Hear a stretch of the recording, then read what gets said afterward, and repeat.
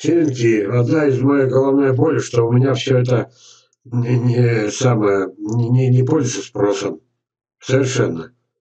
Я еще раз расскажу про эту, эту историю. Итак, все-таки э, человек с Казани оплатил самую крупную посылку этого года. Тут сразу были проблемы. Я сунулся с ней на почту, а там 7,5 килограмма. Эти, 1070 косточек в песке, очень тяжелая, тяжеленная посылка, 7500. И там меня потребовали 2 300. Я сказал, пошли вы. А, и ускоренной почтой. Сейчас нельзя долго слать. Я все ускоренной почтой.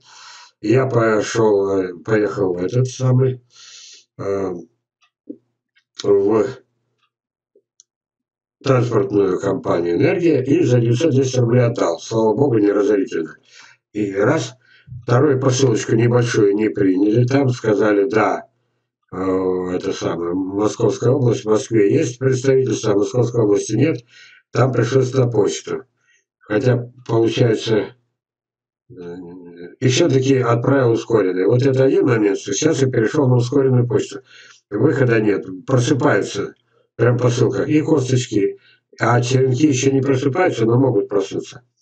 А тут 150 черенков. Рассказываю как анекдот еще раз. Почему? Мне нужно закончить э, рассылку черенков и не выбросить их. Вот. И чем дальше, если кто-то купит в мае, извините, что он получит?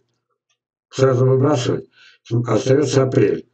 Вот. Прекрасно не всходят в дороге, прекрасно. Абрикосы нет, яблони и а, груши. Абрикосы самые нежные, просыпаются раньше всех. Остальные посередине. Итак, человек, который, еще раз расскажу, человек, который э, заказал тысячу косточек, я сказал, почему не заказывают черенки. Его ответ, это очень важно. Пусть я повторюсь, но это очень важно. Тем более, что то я с унынием говорил, а тут раз приходят деньги. И немалые. Правда, с большой скидкой. Итак, Почему не берешь черенки? А не на что прививать. В течение суток хватило, чтобы оказалось, что уже вот беру 100, а потом догонку еще 50 беру. 150. Это не шутки, это 500 э, прививок, если очень экономно, если еще самое лучшее выбрать. Я верхушки, видите, вот верхушки, я их никогда не использую, ему не советую. Но тем не менее, полтысячи прививок можно сделать. Где он искал подвои? У соседей, у друзей, у это самое заброшенные сады, лесополоса, все нашлось. И под груши, и под яблони, вот, и под это самое, под сливы, вот.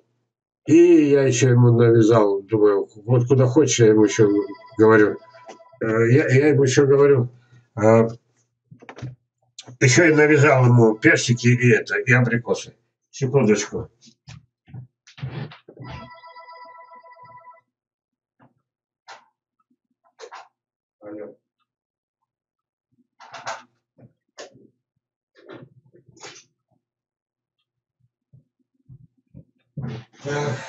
Продолжаем. Вот что значит хорошо подумать. И я вам советую хорошо подумать.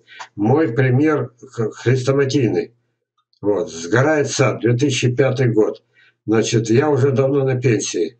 Я в этом, на какой-то момент я полтора года работал в двух садиках, по 3000 получал. Вы представляете, э, человек, которому уже в то время можно было вручить хотя бы государственную премию. Уже было все. Но это сад э, селекционный цел, это посреди деревни, а промышленный сад сгорел. Но как я выкрутился? 400 прививок сделал, может, чуть больше, 400 пошло, э, э, э, тут же за столом привел, этой же весной привил, осенью. Они у меня уже стоили 400 на 500, 200 тысяч рублей. То есть сразу вышел плюс и сразу с тех пор не бедствовал никогда.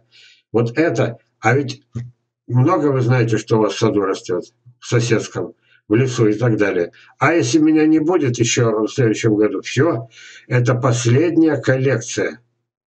Последняя. Кто вам еще такие черенки продаст? Вот. Вот это я так на эмоциях. А дальше нормальный разговор. Еще раз показываю. Почему? Это учеба.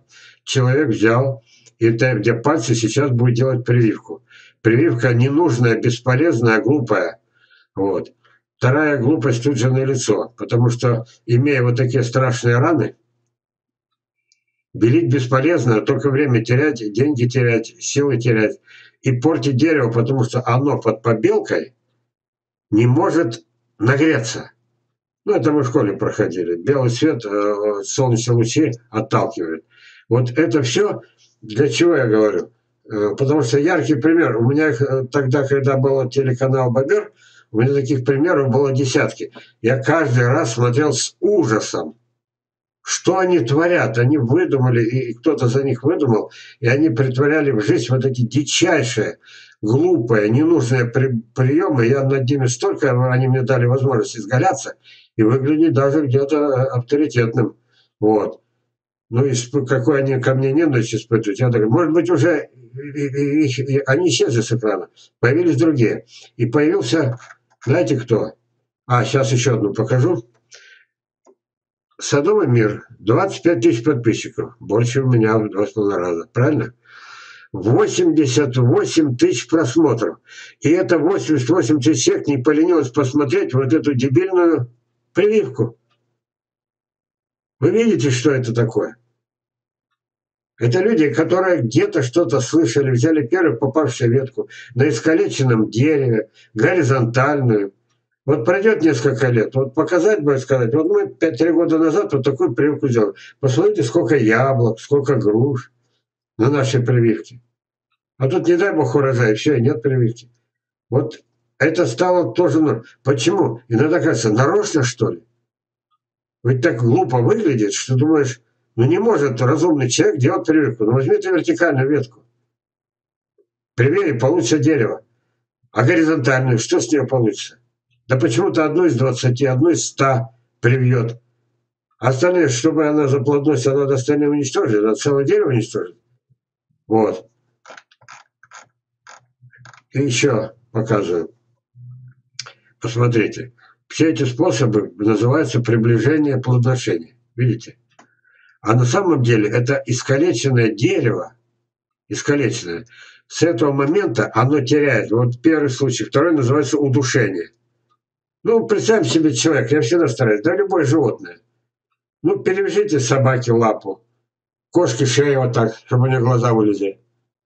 Не насмерть, не, не насмерть, а наполовину. И ждите хорош. Себе попробуйте. Палец перемотали, палец отгнил. Руку перемотали, рука, рука отгнила. Вот. Дерево становится больным, теряет иммунитет. И с этого момента начинаем бороться с чем? С, уже теперь с лишайниками, с мхом, с грибами. Вот, листья паршивеют. Слово парша, знаете, что означает? А? У него э, есть же второе значение. Паршивая. Паршивость. Так нет. Откуда она берется? Вот не трожь дерево, нет парши. Я же рассказывал, у меня было самое страшное лето. Вот, холодное, настолько сырое, невероятно. Вот. На абрикосах до поздней осени не было ни одного пятнышка. Это исторический факт. Елена Александр Савельевич подтвердит. Этого не должно быть. Это же абрикосы, самые нежные. А почему так случилось? И даже ветки отрезал на прививку со многих. И все равно они не заболели, вообще не заболели. Ни одной листика, ни одного. Пришла пора, начали увидать листья, там уже другое дело. И то не нашли а, это самое, грибных болезней у абрикосов. А у нас абрикосов в стране нет. А это же снимок-то не я придумал-то. И тогда я нашел еще один снимок. Я ну, это самое. Вот оно, да? Нашел у себя, видите, это мои цифры. Вот. Смотрите, вот здесь когда-то было дерево. Я сейчас не помню ничего, где оно растет. У меня, у соседа, и мне тоже приходилось выпиливать. Нет, у меня нет такого. Значит, у соседа, у кого-то. И вот теперь оно мертвое, и появились грибы, они, для них вот это грунт. Грунт. И вот когда они появляются на листьях, мертвые точечки в начале, то есть появляются мертвечины на листьях, мертвые клетки. Это для них грибов грунт. А этого до сих пор не знает никто, кроме нас с вами. Опять подвожу. К чему подвожу? Еще один пример. Почему? Они из разных э, примеров, они складываются в одну картину. Когда все это нужно выставить на всеобщее обозрение. Пусть я распинаюсь, я кому доказываю. 90% из вас давно все знают.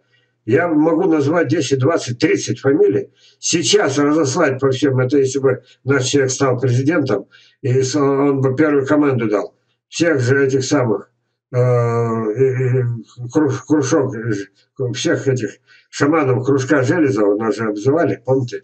Вот. Всех по, по, по это, во все научные учреждения, пусть учат. Смотрите, не поленился же я вот это сделать. Когда косточки замачиваем, и они всплывают, их выбрасывают. И никто никогда не посмотрел, потому что такого совета не существует нигде никогда. Уж я, конечно, ученых книг не читал, но уж популярную литературу-то. Я уже тут это, собаку съел. Вот. Я перечитал сотни, если не тысячи статей. Правда, меня каждый раз трясло, но тем не менее надо было учиться и от обратного. То есть как не, как, как не, как не сделать. И вот смотрите, ну, что-то всплывают они. Специально, это моя профессия, понимаете? Это моя профессия, никто так никогда, никогда. Вот они, пузырьки воздуха, не дают утонуть, а их выбрасывают.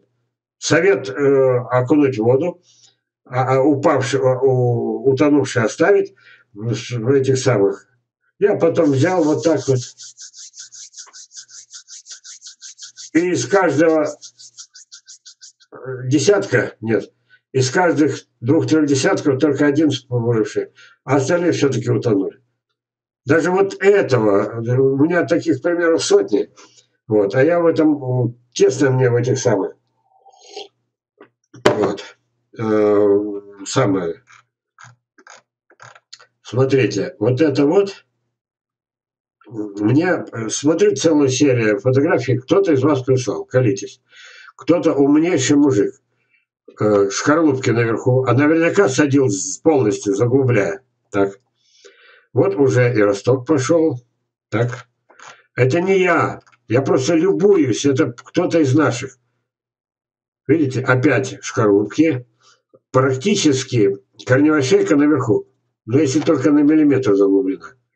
Но тут уж вынуждена не оставлять же наверху. Сейчас поймете, к чему я. Вспоминаем, кто из вас сын манжурца скороплодный? Какова его судьба? Я не знаю. Прошли годы. Я любуюсь работой человека, своего ученика. И я его не подвел. Видите, какая схожесть? Это еще не все. Ну вот на этот полюбовались. Ну, шарился я, мне надо было тему другую совсем. Наткнулся. О, ну, что вы скажете? Какова схожесть? Все шкарлупки наверху, они были все закопаны. Теперь получается, что все севодоли снаружи. Вот этими суждено долго жить. А почему я говорю, сейчас поймете.